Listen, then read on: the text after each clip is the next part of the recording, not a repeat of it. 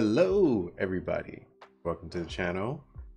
It's Neko here, and we're going to talk about another topic today. A little tutorial, if you will. Um, I've been finding these one-off tips and tricks things. Uh, doing, feeling pretty well. Uh, I want to incorporate it into my pipeline, but for now, uh, let's just jump right into the tip, right? Today I want to talk to you about an interesting thing you can do with Clip Studio Paint that I haven't done for the longest time and it's helped me back, but since starting on like comic, graphic novel and all that, uh, you know, I've been resorting to more efficient, easier ways of working. Um, and that technique is what I like to call scene building. So, uh, yeah, let me go ahead and get right into it. So scene building is essentially as you can see, if I pull up my little thing here, it's just taking whatever 3D assets you might have, throwing them into the scene and literally building the scene out of it, right?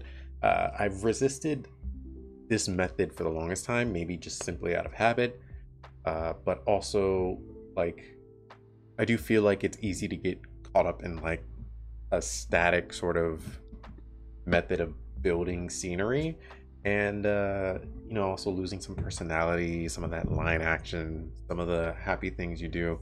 Um, so yeah uh, and in that regard i would recommend that you at least thumbnail sketch uh, some things before you start building a scene uh, just because you get like a raw idea just raw emotion and energy from i don't know just the sketches you do uh, and and I find it easier for me personally to like think about scenes like that because I mean ultimately if you're going to be making a painting it would be better to think about it like a painting rather than uh, a, a 3D like model like put together and stuff like that.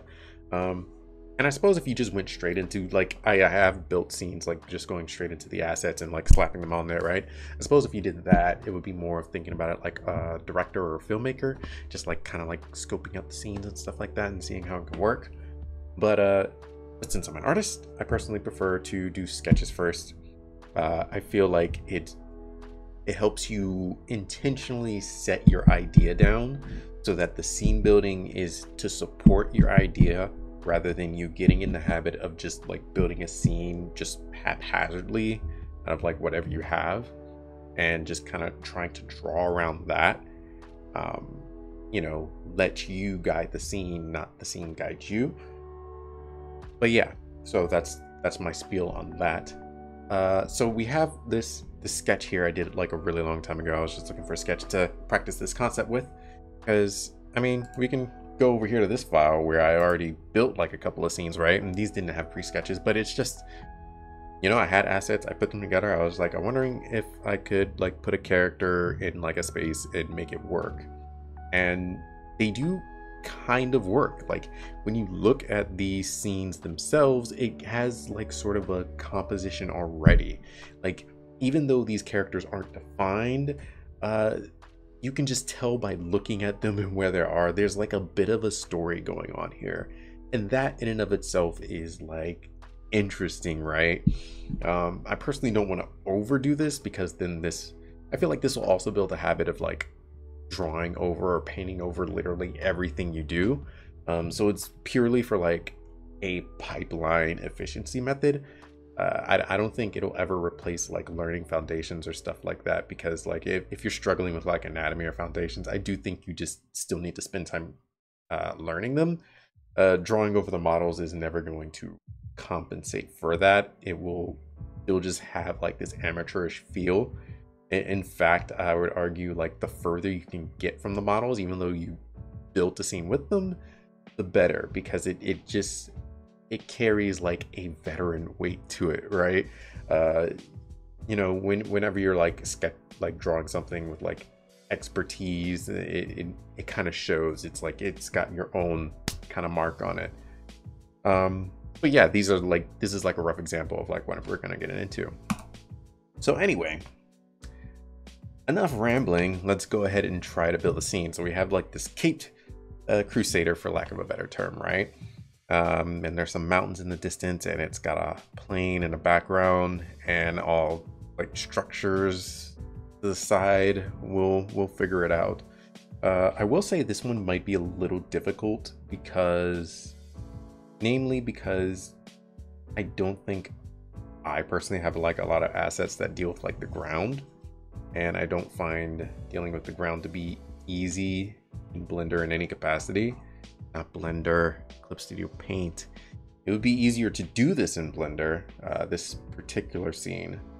Um, so I think what I'm going to do in this case, because I feel like searching for a ground would take forever. I don't, I don't even think I have one. And the point is to save time, not like eat up a bunch of time doing it. So I'm gonna select a brush here and wow, that is a brush that takes up quite a bit of uh, RAM. Let's let's switch to this like a G pen. G pen should be fine. Anyway, yeah, I just need like flat things anyway. So we're just gonna G pen in the ground here. Um, and I'm gonna make another layer, lighten it a bit. We're gonna like G pen in this ground here.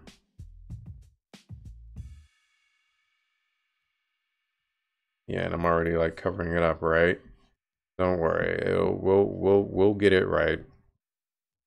It it'll come together. We're gonna go to the back, and I already made a layer, so we're gonna G pen in this ground here. All right, that's our ground. We're gonna select all these layers, drop the opacity a bit. We still want to see the rest of it. Um, and I do want this to kind of be over them all. So maybe doing that will also help. Is this multiply or is this normal? I think I should make this multiply. So yeah, we'll, we'll make it like multiply. And I can drop the opacities of these like just a little bit. I want to know where they are. Anyway, that's our ground plane. Um, I feel like it's easier to work with it that way. Anyway, 3D steps here. I do think we are going to, ooh, it's perfect. I separated these into layers because now we can just intertwine the 3D between like the ground layers as well. So like how this middle ground layer is going to be behind some of these structures, but this forward ground layer will probably not be in front of it. Um, yeah, we'll be able to throw in some structures there. I'm wondering if I want to go with one of these 3D buildings. I do have other things. Let me, I do have a tower in here, right?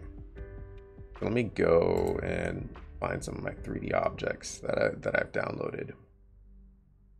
And I get a ton of them. I'm always like downloading stuff off the asset store because some of them are free temporarily and you never know when you're going to use them. Like it always comes up like five months later. I'm like, oh wait, I could really use that one asset I downloaded.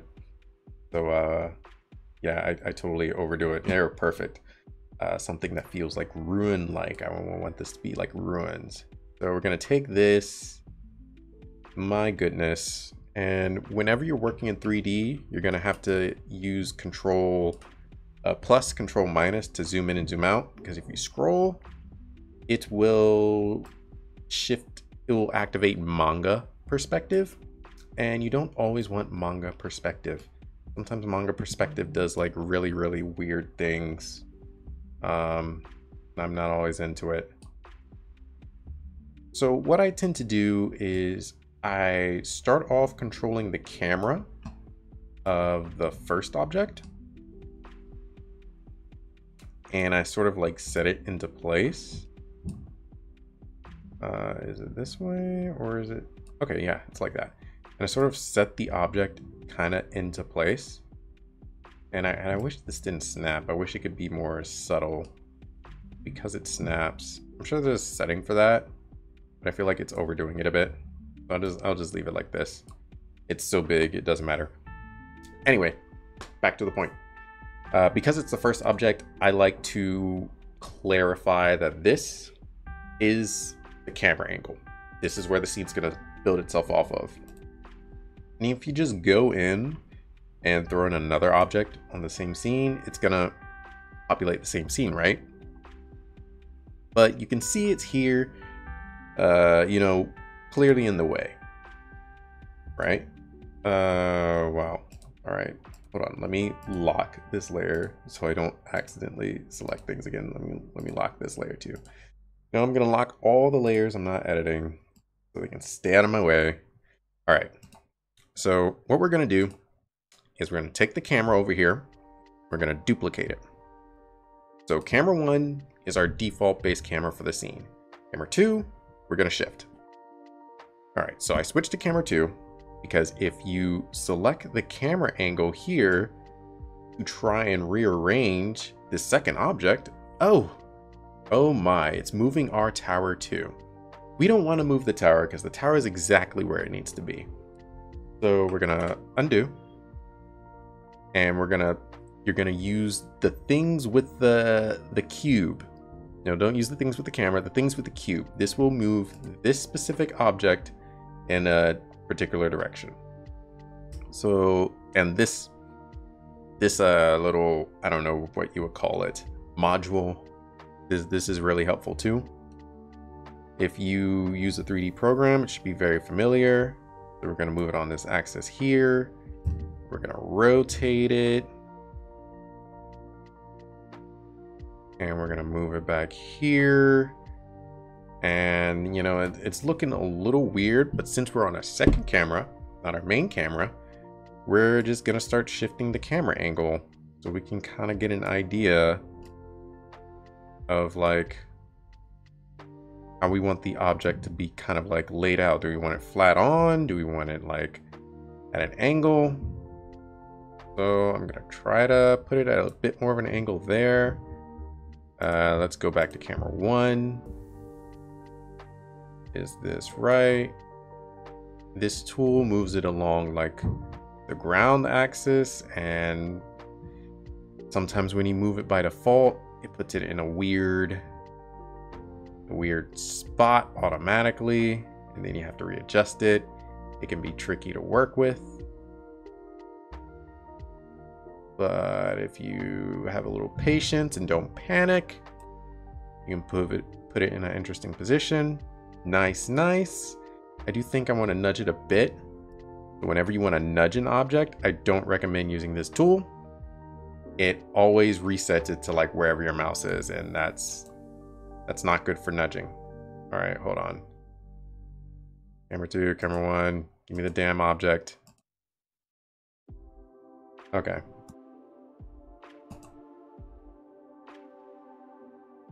And it doesn't want to select it for some reason. All right, hold on. If I select this, okay, I select this. Okay, I know what's going on. It's all the way out there. That's what's going on. All right, gotta keep an eye out for that. And watch the scrolling. you don't want the manga perspective, at least all the time. Let's see, we're gonna shift it that way a bit. And that, I'm trying to align it with the sketch. That seems to be aligned pretty well. Um, let me put away the sketch. This is decent. I wonder if it's on ground level. Let me try place the model on the ground level. Awesome. So that should probably be the first thing you do. That's my mess up. Place it on ground level so you can keep an eye on it. I do want to scale this up. Let's try to make it taller. And maybe we can add a little a little more width to this too. Um, yeah, I don't want it to feel like we get like the top of the structure. I, I want it to just feel kind of like in place. Um,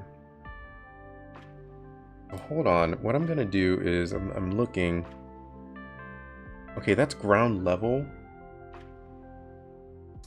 But I want it to be a little further. So we're going to go down, switch to the camera. It should be a little further from the other one. It's a little further in the back. Even though it, it aligned with the sketch, I feel like in actual perspective, it wasn't right. it was it was looking weird. So over there, over there. Um, and I do think it'll have to be elevated to an extent. So if we like turn our layer invisible, we get rid of like all the ground fluff, the structure is kind of like sitting on this ground level, right? So maybe an easy thing to do would be to just move it up to the ground level. And that'll automatically like, if I go undo, undo, undo, undo, undo.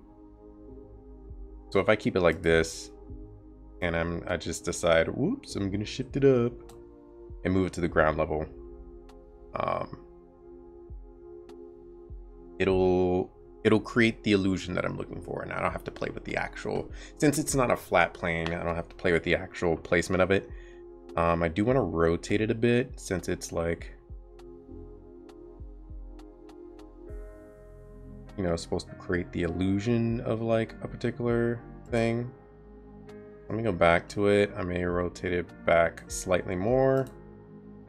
And sometimes you got to click off the 3D object to see it properly, see it like in space. I do think I want to shift it down a hair, have the bottom kind of be eaten by the ground. And yeah, I, I think that's good. So let's see. I do think I want another structure right next to this one. Let's see. Do I want to switch it up with a different building?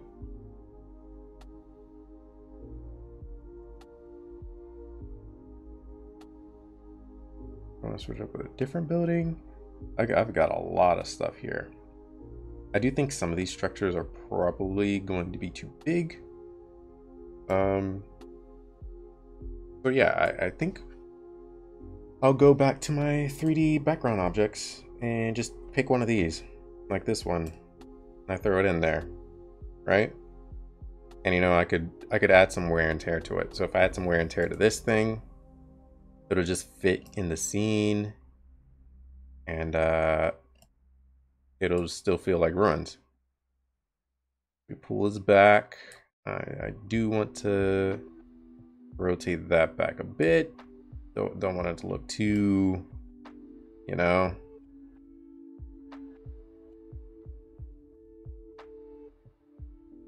Don't want it to look too uh, out of perspective.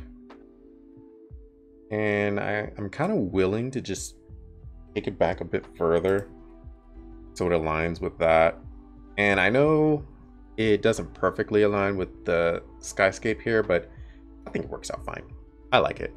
We could chop off like a piece of that building when we sketch things out. Um, so there's that. So we introduced the ground planes again. I know I have some mountains in my download, so we're gonna go back into the downloads, go to 3D background, not 3D background, 3D object. Uh, I don't know why like people tag it differently, but people do that sometimes. So, um, just as like Quick side note, this is an excellent way to navigate your downloads when you have a million downloads. Just search by the tag. This has saved me tons of time. I can't remember where everything is, so this is the only way to really find anything. Ah, snowy mountains, here we go.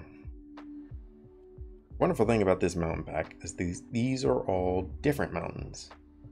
Uh, we can go back and they will luckily be on a different 3D layer because they have to go behind the ground level and all that. We're gonna go back here. We're gonna rotate the camera. So, so we're going to shift the camera so it's appropriate. And we're gonna zoom in so it's the right size. We're gonna put it around here. And kind of fits. Kind of fits. I'm hoping it's not and there's a lot of things you can do with these mountains too, right? If you added multiples of them, you can like piece them together so they make one mountain, or you could just like, you know, separate them out, make different mountain ranges. It's a very versatile like 3D tool. Do I still have the same camera? No, I don't have the same camera. So I'm to duplicate this. And we're to use camera 2. Kind of reposition things a bit. We're to take this one, move it back here, move it over here. Camera 1, it's pretty close, right? Camera 2. I'm to shift it over a bit more.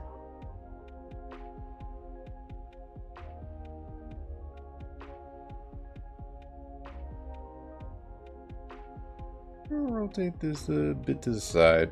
Give it a little personality. Lopsided mountain. Why not?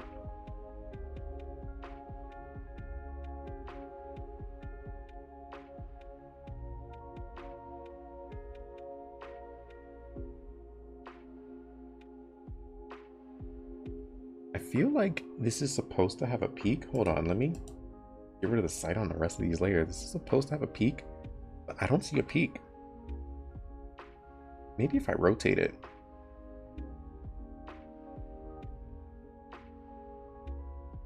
For one. There we go. So you're rotating it uh, up to get a bit of a peak, right?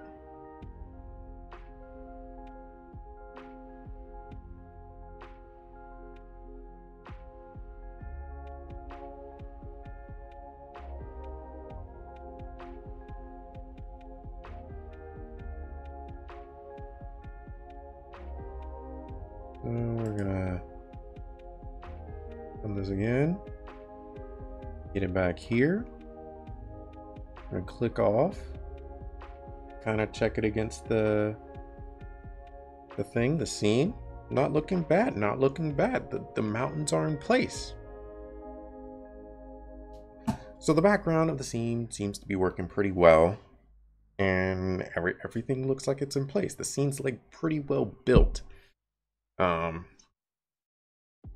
and you know, when we convert to lines, uh, these 3D models are going to add in like, a, you know, a good bit of like texture details to the actual buildings and stuff like that. And we could just paint over them and alter them the way we want to. So this is a great base to start off at. And like, it's almost the equivalent of building a scene in Blender and then like trying to play with the lighting and like importing it and stuff like that, which is great. Very useful, very quick and that might actually be something I want to play with. Hold on. You can find the lighting sections over here, here, here, right here. And you just click and drag. So you can adjust the lighting how this wants to, see how the shadows play. Um, so you can put that in the dark. I'd rather actually put that in the light and kind of put this thing in the dark a bit. I think that's a little more interesting that's kind of the lighting I'm looking for. And I think the only next thing to do is to place a character. So this might be the interesting part because let's see if I can find a pose that fits with this. Right, right. We're just going to assume, I mean, you could easily paint in a character you want to, right? But we're just going to assume, uh, you know, you kind of want to like map the character in there as well. So you can just search through your poses, see what you got. Um, these are a lot, a lot, lot, lot of poses.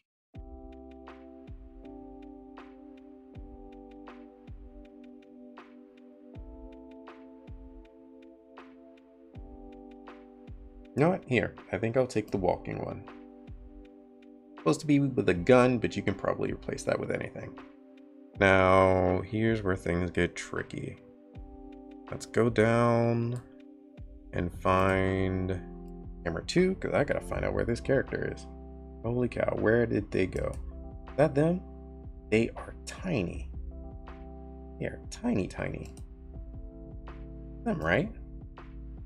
Oh my gosh, that is them. Okay, that's to be interesting. So we're to have to take the character here. We can either do two things.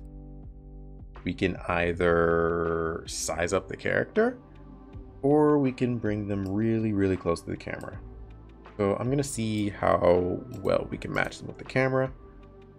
Otherwise, we might have to size them up. All right, here's camera one. Um, let's, okay. So we can bring them relatively close. Yeah, sizing them might not be necessary. That's good, that's good. Right, and we go and adjust their size. Gonna rotate them, they're gonna be facing this way. Bring them back closer, bring them up here, bring them down. And we're gonna zoom out with the canvas, not the 3D thing. Zoom back in, rotate. So I think like actually they will have to be a touch closer, like right here. I think when you look at it, like their feet are supposed to be on the ground. I'm not sure how if I'm gonna actually get that. Maybe the proportions are like totally different. But I think like as long as you like map out the head, should be relatively okay. I think this works for me. I mean, it's pretty good. Uh, and I think the next thing, another another little trick you can do, another another great addition uh, to Clip Studio Paint that just makes things dynamic. We can go to body type and we can select a completely different body type. We can select a body type male. We can just drag and drop on the character. You have to make sure to drop it on the character or it'll just spawn a new one. We have a muscular male, or if we want, we can even make a muscle female. I downloaded both of these off the asset store. So, whoops, undo, made a new one. Look at that, what I tell you. I'm gonna undo that again. Anyway, here it does it. Oh, no, no, no, no, no. So I think I may, for the muscle female, it's made weird. I may have to reverse it. So, which I might do, right? Um, so essentially you have to reverse it and do the muscle female, then put the pose on top of her. But with all the other ones, it should be as easy as like putting, doing the pose, putting the body type on the pose and it should transition. Um, muscle female is just like weirdly designed though, right? Hold on, let me, let me try to do this since it starts her off like right here and she doesn't have an outline. I don't know why she doesn't have an outline. They, they did a lot of weird things with this particular character. Um, I think the light source is also weird. I think if you, nope, nope, nope, undo, keep that intensity. Uh, I'm trying to remember apply light source. There we go. There we go. Yeah, she doesn't have the light source applied on her either. It's it's really strange. But uh, let's try to go back to downloads and find the same pose. Hopefully they don't reset it. They reset it.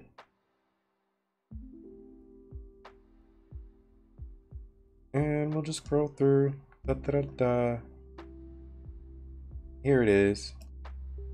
Grab this pose, slap it on her, boom. And now we have a very, very muscular female doing the same exact pose.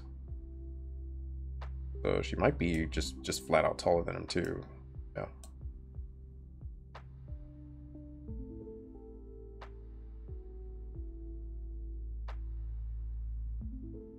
Anyway. So yeah, we click on the thing and let's like take it away. So now when you look at it, uh, they're, they're ahead of that too. Can't shift the opacity. So let's, uh, they should be, they should be on their own layer because they should be on top of that, shouldn't they? Okay, so we're gonna keep the opacity of this low. The opacity of these two can go up. So now when we look at it, the scene is practically built, right? There it is, there's the scene. We have the three planes of ground, we have the mountains in the back, the, the sky is easy enough to handle. Mean, we have buildings here and the character placement and all that. And it matches up pretty well with our initial sketch. And let, let me just, for kicks and giggles, get rid of it. Yeah, the sketch has a different pose and all that. Um, and, you know, it's, it's not hard to put your own character in your own pose or whatever pose you want to. Uh, that's not really a requirement. Uh, I suppose if you want to secure the anatomy, you could play a little bit of extra time to do that. But yeah, it takes the thumbnail sketch and gets it like halfway there. You have a lot of like rough direction and details kind of worked out and it's a really easy base to like work off of. And um you know, you just go here, convert to lines and tones, and you have like the tones and the lighting and the texture details on the models in there and everything. And you can just pick it up from there, paint over it. It it speeds up the process a lot because honestly, rendering buildings like this would have taken a minute, right? Um, some people are fast enough to do it in 30 minutes, which this took us like 30 minutes with some explaining and um, describing. But uh, for most people, this would have taken like a, a bit more time, right? I, I, think the ground would have reached a more finished state, but even still, like especially like mountains and stuff, it overall it would have taken a little more time. And you are gonna have to do some fixing and cleanup, considering where things are at. But um, no, I, I, I think it just sped up a good portion of the process, right? Because I think the overall rendering you're going to have to do is been very much minimalized. And depending on what brushes you have, what textures they are, you could still fly through the rest of this painting as well. Anyway, that's it. I just run it to run through scene building and how useful it can be. And maybe I will show, you know, some other time, just scene building from scratch because this this was scene built from scratch. This was scene built from scratch, and like, you know, I, I approached it kind of like, oh, what if this was like a board or a key art, or like, how do I tell a story here? Um, you can do these too, and then you have probably like less problems. It's a little more cohesive. This is even faster. Um, but yeah, that's all I wanted to, you know, show you guys, and I hope it helps you out in your future illustrations, comics, animations. Um, definitely have some videos in mind for that. But um, yeah, whatever you decide to do in the future. Thank you for stopping by and watching. Don't forget to like and subscribe. Or uh, don't if this was the only time you need it. Whatever. It's cool, bro. Anyway, that's all. See you next time. Deuces.